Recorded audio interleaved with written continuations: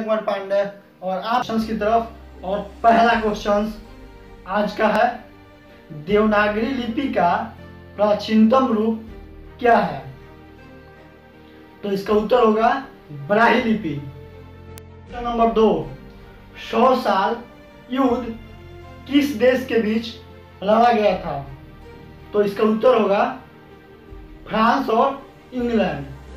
Question number तीन, Samsung brand किस देश की कंपनी है? तो इसका उत्तर होगा दक्षिण कोरिया।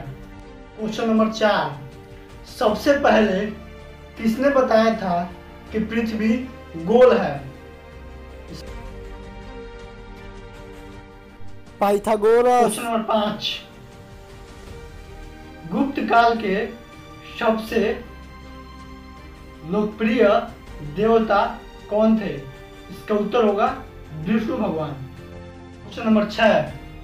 वेद का क्या अर्थ होता है? इसका उत्तर होगा ज्ञान। क्वेश्चन नंबर सात। सुनामी का मुख्य कारण क्या होता है? तो इसका उत्तर होगा भूकंप। क्वेश्चन नंबर आठ।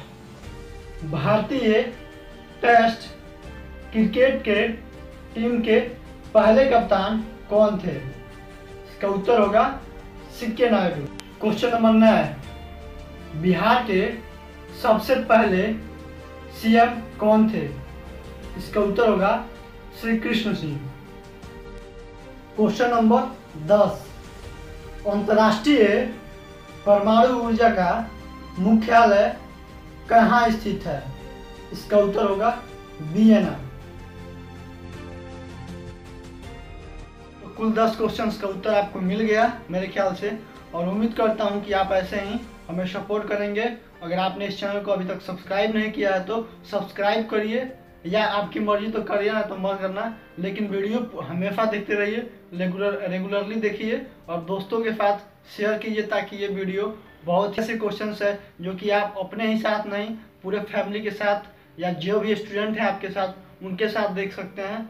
जो लोग पढ़ते हैं, उनके लिए तो देखना एक बनता है। तो अगर आप पढ़ते हैं तो इस चैनल को सब्सक्राइब कर लीजिए, क्योंकि आपको मिलेंगे इस पर कुल क्वेश्चंस जो कि आपके लिए है बेनिफिट और आप